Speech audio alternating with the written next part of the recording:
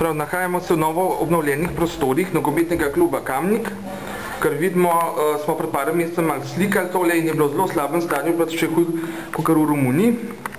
Uh, no, zdaj pa vidimo, da je že kar uh, tole mal, uh, mislim, da je zelo obnovljen. Evo, kaj imajo tu še.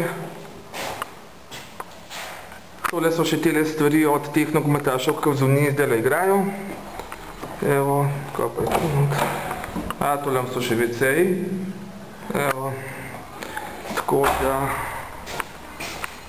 imajo kar lepo vse obnovljeno.